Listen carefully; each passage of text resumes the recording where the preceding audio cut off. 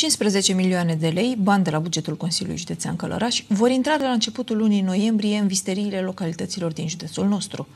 Prioritare sunt lucrările de infrastructură la școlile cu probleme deosebite din comuna Ștefan Vodă, Spanțov, Nana și Gălbinaș.